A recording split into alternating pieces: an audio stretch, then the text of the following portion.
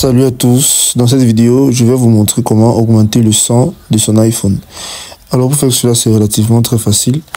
Nous allons nous diriger vers nos réglages. Et à partir de nos réglages, nous allons choisir l'option son et vibration. Et à partir d'ici, nous allons augmenter le son des sonneries à l'aide.